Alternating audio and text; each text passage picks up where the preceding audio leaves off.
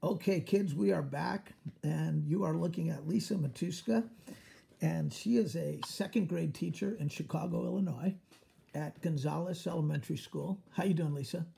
I'm good. Good. How are you? Super, super. Uh, you kids, I got to know Lisa when she was your age. Um, she came to our soccer camp, Marauder Soccer Camp. Came to many summers, worked in the camp, many at, for as a gopher, as a staff coach, and all of that stuff. And then she went on. Tell us about yourself, Lisa.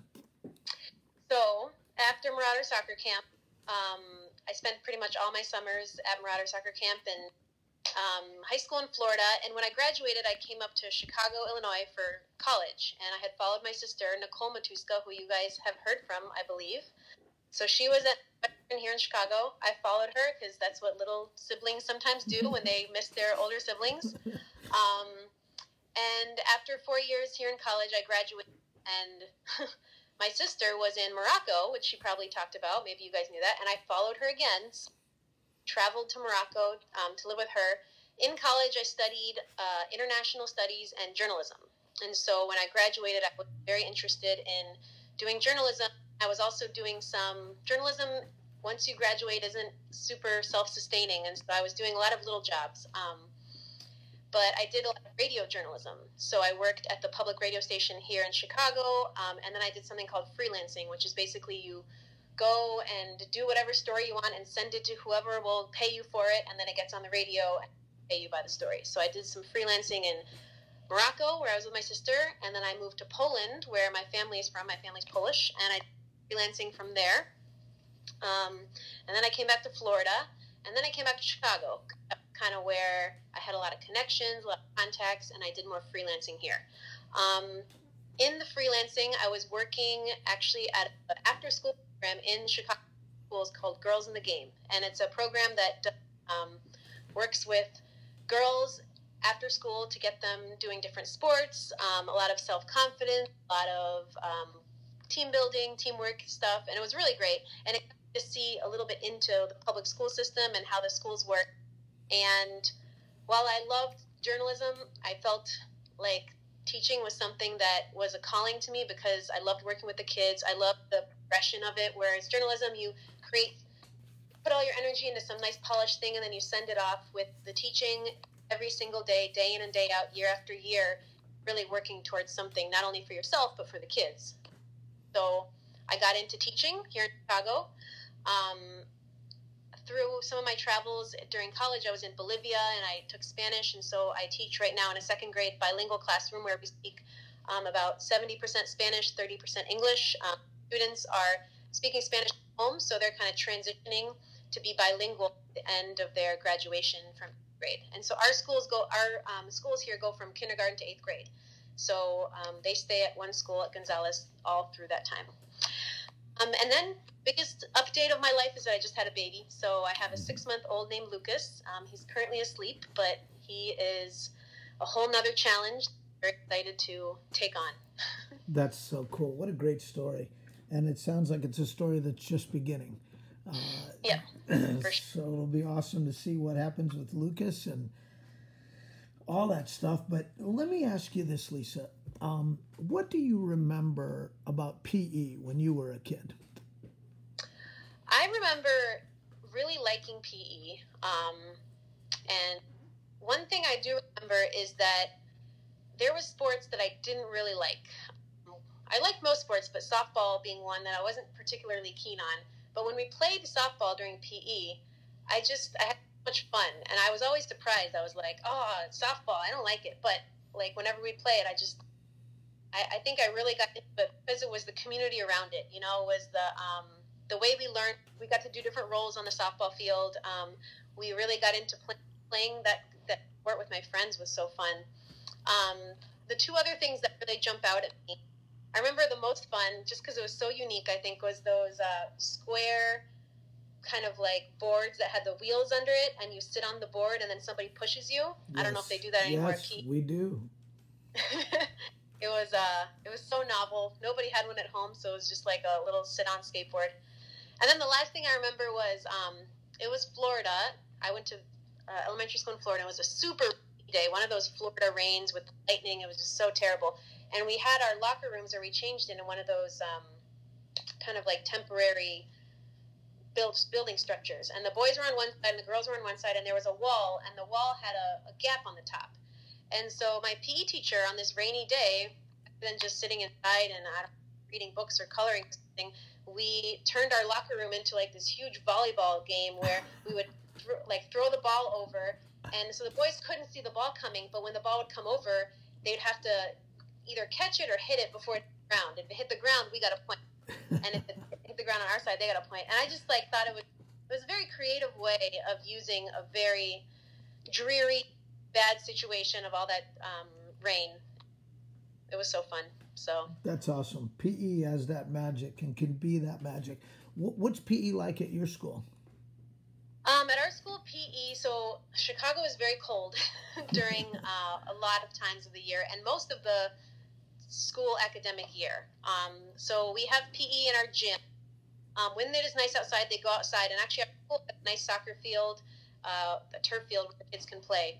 Um, and I know that they cycle through different uh, sports that they teach the kids about. But the one thing I heard my second graders say that they loved the most was um, when they did state stations were basically around the gym. There was different kinds of uh, exercises. Um, a lot of them involved tumbling and rolling and um, like gym mat. I never actually watched a lot. Oh, and some of them involved dancing. I know. Um, and the kids just loved it. And I think it was just high energy, really fast changing, really high interest activities that they station around. Um, so I know that the young kids really like those, and the older kids do a lot of uh, different rotations through sports. Um, and then I know that they do the presidential fitness test. You Mhm. guys have that? We have they- something called Fitness Gram, so it's similar. Okay, so yeah, they sometimes you hear them talking about having to do the um, running back and forth before the thing beeps. Yes, Which- yes, we have that. like some kids don't. Um, I think it's kind of here hit or miss with some kids, but um, it is like there's a bit fair amount of goal setting. Um, so I think that's good. That's interesting. That's interesting stuff. Um, so you've it's interesting that you've been to Bolivia, Poland, Morocco. Did you have occasion to pick up on what PE might have been like in those places? Did you know anybody or any? Do you have an awareness of that?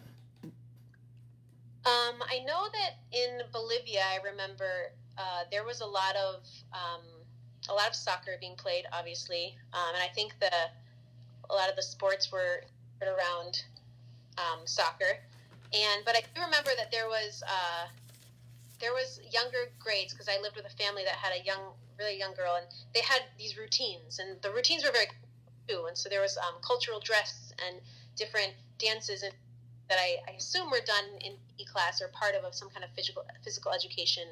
Um, in the other countries, I know in Morocco, and we'll probably talked a little bit about this. Um, it was really interesting dynamics between the different genders. But um, one thing I know that was incredible to watch was um, the the groups that she worked with, and a lot of the groups, the girls were going outside and playing just like the boys were. Um, when there was cr- spaces created to let girls play outside, and you know whether they were covering themselves completely or just had a um, a hat on or something, they were playing just like the boys, and it was a very empowering thing because it hadn't always been like that in that country. Um, and I think in general, in Latin America, there sometimes is a divide between the opportunities that girls have to play in um, versus boys. And it seems like PE is a good place where everybody has that opportunity. And whether that continues after they're out of school is a question of how society really is like valuing women playing sports and stuff. So um, I think PE seemed like a really good equalizer of countries for giving kids those opportunities. I think both you and Nicole would have had trouble in uh, growing up in a place like that. Um, Yeah. so, uh, I mean, I remember both of you at camp uh, just being, first of all, excellent soccer players, just as good as many of the boys that were in the camp, and, uh, in fact, better than most of the boys that were in the camp. And uh, did, what do you remember about being at Marauder Soccer Camp? I remember at Marauder Soccer Camp being the whole week was kind of um, a build up, and every day was one part of this story that was being created over. Um, and you were a big part of the story. Every camper had contribute. The coaches were such amazing leaders, and by leaders I mean not just telling you what to do, but really letting camp experience. So um, you were the ones that made your team name. You were the ones that decided uh, what kind of cheer you were going to do. Um, if there was a rainy day, creative, super fun activities to do on that rainy day. like a rainy day wasn't something where you come to camp and you're like, oh, it's raining today, terrible. But there was just always something great to do, and I, that was a big credit to the coaches. And becoming coach, I realized how big a responsibility it was to um, kind of lead in this way, to not lead in the way where your kids, okay, we're going to do this, this, and this, but lead in the way where the great ideas are coming from the kids, and you're there to kind of, you know, make them happy well, that's that's so interesting to hear you talk about this. Now, one my personal goal uh, is to make every day at Cypress Woods like a day at Marauder Soccer Camp. To make it be like that, and that kind of leads to what um, the way we do exercise. So we don't really just do you know jumping jacks. I mean, sometimes we do, but actually recently we took all the music away. We had no music February so we just took all the music away just so that kids could experience what other schools do, right? Yeah. And they were couldn't wait for March 1st to come. But uh, but um, but we we have the music uh, and and what I've and I know you've seen it. So what I want you to do, Lisa, if you would, is just to react to to what you saw the kids doing and your impression of it. Well, my first impression, um, I think the video started with a few kids doing a dance and I was like, wow, these other kids who are crouched down are very attentive, you know, like they're being very respectful to the kids doing this dance. Little did I know that every child crouched down at some point would then get up in and participate. Um, and the length of the program was really impressive to me, as well as, yeah, all of the kind of unity among the people who were dancing and also just um, the excitement for it, you know, because I know that, I mean, even in the classes that I teach, um, in PE classes, there's kids who, you know, dancing is everybody's favorite thing.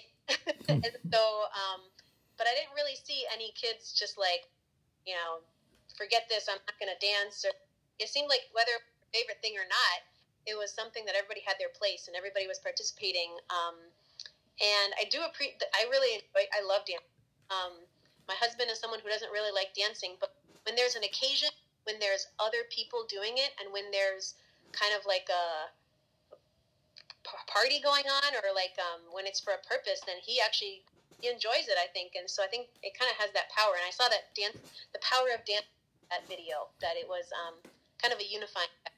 That's beautiful. Uh, we we have had some absolutely magical moments at PE class where, you know, we'll have a hundred kids out there, and mm-hmm. every single one of them is on, and the only, we're just doing it for each other and with each other. We're not doing it for a grade or we're not doing it for an audience. It's just fun to do, and it's really good. As a matter of fact, uh, one time we had uh, Martin Gramatica came to our school to observe the kids, and he, you know, and he watched and he he talked to the kids afterwards, and he said uh, that was so exciting that I I've rarely felt that much excitement, but it reminded me of being in the locker room before the Super Bowl at mm-hmm. when we went to win the Super Bowl. That's the mm-hmm. same feeling I had, which is yeah. cool. You know that feeling. You just kind of described it, like when you're at a wedding or something and everybody's up dancing. It's it's a feeling. It's hard to put words to. Yeah. Uh, we try to get there. We try. It's like what Marauder Soccer Camp tried to be like. so, Every day. So, um, question for you now, Lisa, is you've been a teacher for quite a few years. I think seven years, if I'm not mistaken, maybe eight, something like that. What yeah. do you think PE should be? Um, I think, and I mean, I I love sports. I love PE, so it always worked for me. Um, sports, anything that was physical or sports was always working for me. But I do that PE sometimes, what I've seen, it doesn't work for every kid. It's not, you know, like sometimes PE is presented as this is what you have to do, this many of this, you have to play the sport and like it. And Um, I think PE should be an opportunity to um, expose kids to a lot of different forms of being physical, of, of physical activity, of um, within sports realms, but also like individual physical activity or dance or um, physical activity that fits with their interests. And it's obviously like there's so many interests and there's so many ways to um, think about that. But I think it should be a lot of exposure and a lot of. Um, I also another thing I think it should be is like thinking about goal setting because I think a lot of physical activity as you get older is about prioritizing it and putting it, making it work in your life. And so um, by setting goals and, and making, you know, finding the activity that works with your lifestyle, um, I think is one thing that can be really practiced as a kid. Definitely, definitely. We uh, we actually talked about goal setting a lot this year. Mm. So you're speaking to some future teachers, some future coaches, maybe future leaders. Um, you were their age, living in the same state, Florida. Uh, what would you say to them? What advice could you pass along to them? Um, that's a good question. I think. Well, let me ask it this way: If any of them wanted to become a teacher, what mm-hmm. would you say to them? I would say to find what you're passionate about, because um, teaching could be forms, and so, but and teaching is it's a hard job, and so it, it gets you know it wears on you, wears on you. But there is really a passion that drives you, um, and as you can tell, Coach Harte, Mr. Harte, I don't know what they call you, Coach Harte, Coach Harte. Um, he's he's really driven by a passion in his teaching, and probably a lot of your other teachers also, like you know, you can tell that they're tired. You can tell that sometimes they had a long day, but there's something in them that is continuing to really just teach with all heart, and that's this passion that they have. And so, what, find out what that is, and you can teach that people, whether it's sports, whether it's whether it's math, whether it's books and literature, um, whether it's another language. If you come to learn another language really well, you could teach that to others. Um, so, really finding that passion and never really letting somebody tell you that you can't do it. Um, people might tell you like, "Oh, you're this type of person," so like, "Oh, you, you sh- you're really good at this, or you should do this." But whatever they say is their perception. I think that really, however you create your journey, your path, whatever um, you get into, that's what kind of person you can be. So, um, kind of like you determine that. Other people will tell you what they think. That's great, but it's really what you determine or what you decide. Just like you've done. Sure. yep. Well, Lisa, thank you so much for joining us today. Really Thank appreciate it.